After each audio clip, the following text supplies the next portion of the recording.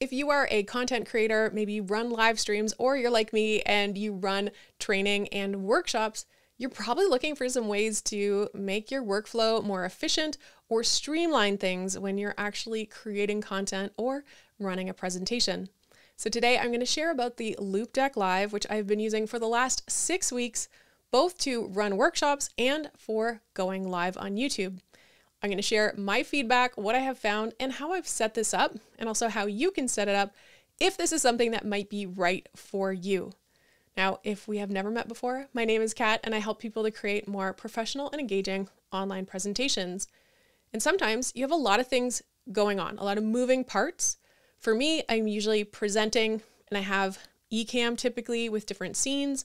I'm also going to be controlling or running Zoom and I can have a few other things going on, making sure that my mic is not muted, etc. When it comes to using a device like this, which is a programmable accessory, it is like a companion to your keyboard and your mouse. So let's take a look at what it actually looks like. So here is the Loupedeck. It is sitting on my desk right now. So you can see here's my, my keyboard and this is the actual device. And you can see based on my hands approximately how large it is. So it's actually a really nice size and fits on my desk. If we look sideways, you can see it's on a small stand and it has a USB-C cable, which is how it connects to your computer. Now the actual device itself has a few different features. So you will see that there are 12 programmable touch keys in the center. Down the side, we have three dials, which are also, not only do they turn, they're also buttons. And then down along the bottom, you will see that there are eight different buttons. So there's a few different options that you have for this. Now, one of the things I want to do is show you how the app works. And I will say one of the things that was really nice is the introduction and orientation to get you started. And once you are introduced to the app, it's actually fairly easy to set up. And I'm going to show you how you can set up. I've got a little sample space ready to go. But let's take a look at the app itself.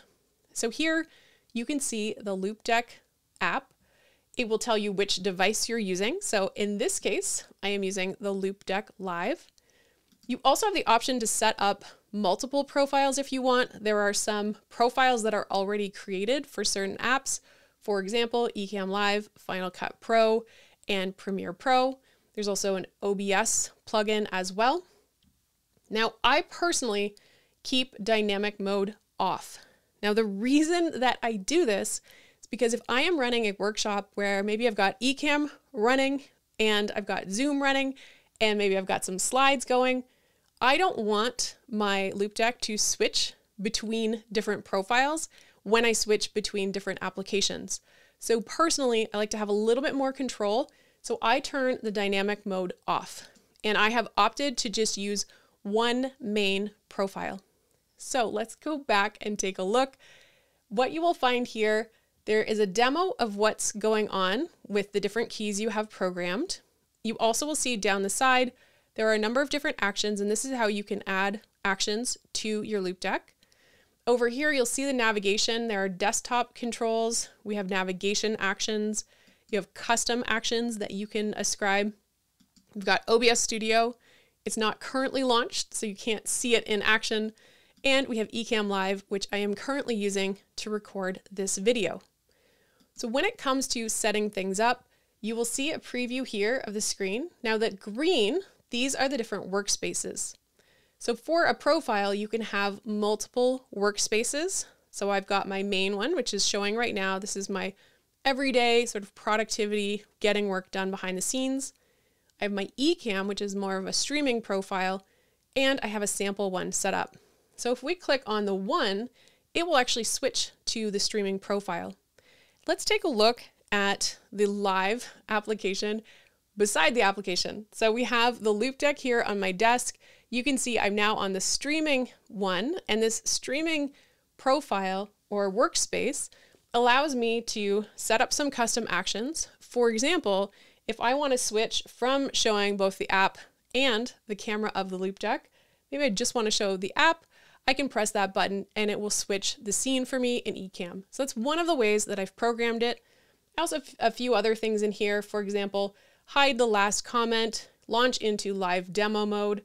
I can show my link for my gear page and specific scenes, preview mode, and I can also mute my microphone.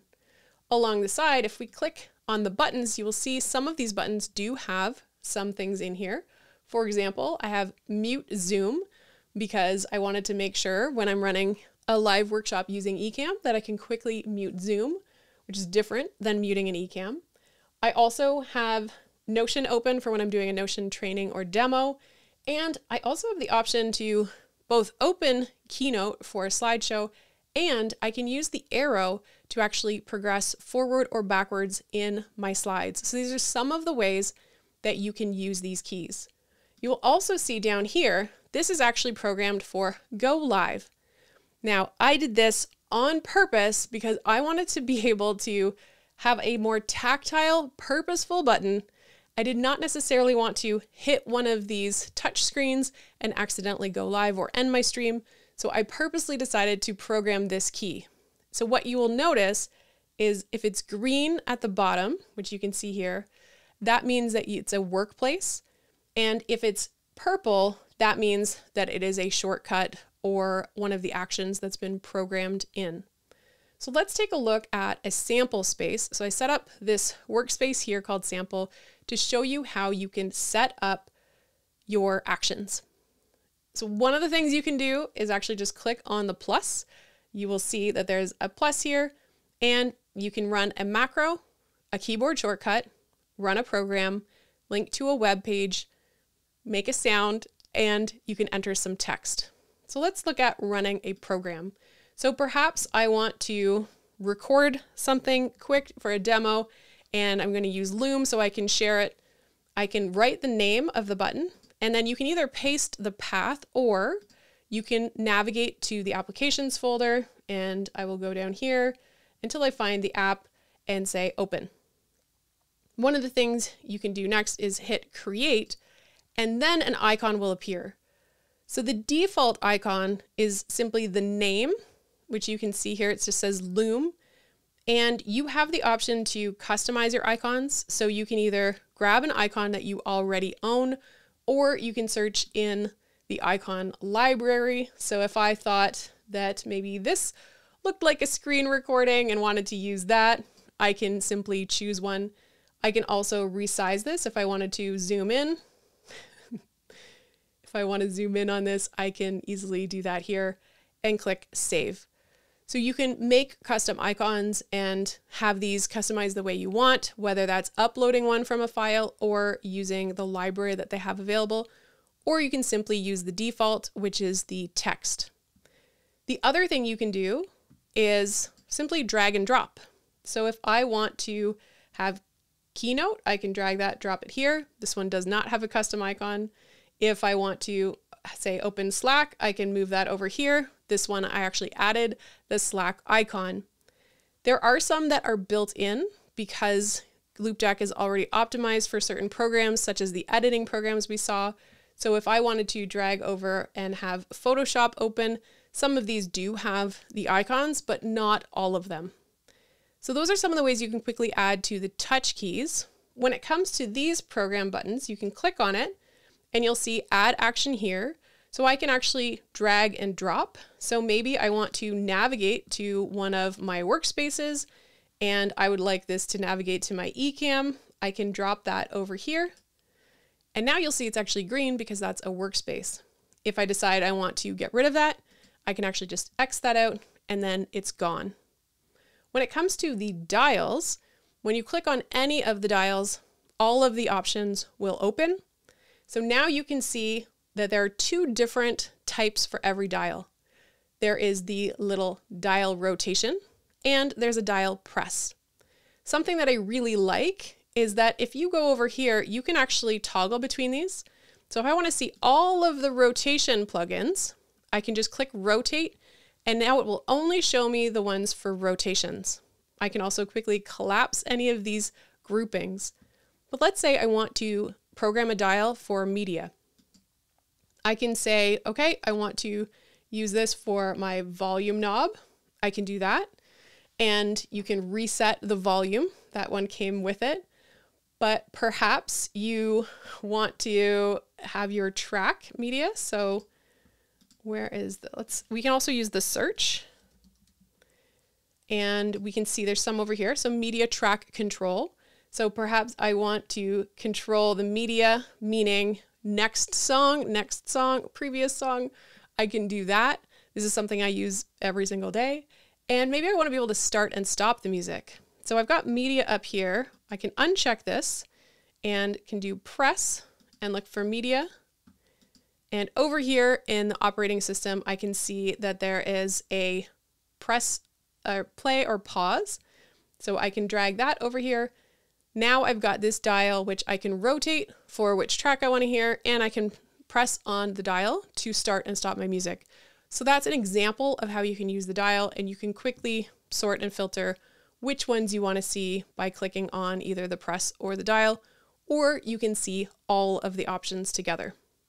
So that's a quick overview of how you can quickly add things and customize the workspace. And I find this really easy and intuitive to use. One of the things that I will say about the actual buttons is that they are a little bit sensitive. So one of the things that I have noticed, for example, if I'm on my streaming profile and I want to switch to a scene, I can't just feel which button, so I usually will have to glance down. That being said, when I was using the Stream Deck predominantly, I would also usually glance as well. But that is why I do specifically program things like my go live in the bottom corner or having things like the opening keynote with the side here, and then also being able to use the dial to go advance through slides and go backwards in slides. So those are some of the decisions that I personally made when it comes to setting up the Loupedeck. So, six weeks of using it, what are my thoughts? Personally, I am using this every single day. I really like it for productivity, meaning getting my work done. I find that I am using it to launch common apps that I'm using all the time. One press button launches it. I love that. I also use it for things like screen captures. I take a lot of screen captures or full screen or window captures, and I use this every single day for that purpose as well. I also really like the dials. I now feel like it's more intuitive to control my music or the tracks with the dial as opposed to using the keyboard keys or using the mouse. So it's become part of my everyday workflow. When it comes to running workshops and presentations, I do like having the option of both buttons and the, the, the tactile buttons, the touch buttons, and the dials. And there are a few different things that you can do with dials that you can't do with only a button. And many of the things that you can do with something like the Stream Deck, you can do with Loupedeck, like having a multi-step action, running a macro, so you can do more than one thing with a button. So this is actually a really nice tool. The other thing that I've really enjoyed is if we take a look again at, at this, the size itself, and let's switch here. So I find this is a really nice size for the desk. And now you can't adjust the actual height. The, the stand is just one stand. I mean, you could prop it up on something. And I will also say that the button presses, they're not quiet. So if I wanted to press these, I don't know if you can hear that, but I definitely can. So I could always put something a little bit softer, which would probably reduce the sound. But overall, I'm really happy with the size and the real estate I know that this is something that comes up fairly regularly when people are thinking about adding anything to their workspace. What do you need to see all at once? And how much room or real estate do you have? Now, you are able to add extra pages. For example, on this page here, I could add a second page so that I can have even more things on here. And if we look at an example, if I go to this first profile here, if you look at my hand, I can actually swipe to have multiple pages. Here's a calculator. And you can also swipe up here in order to have different controls.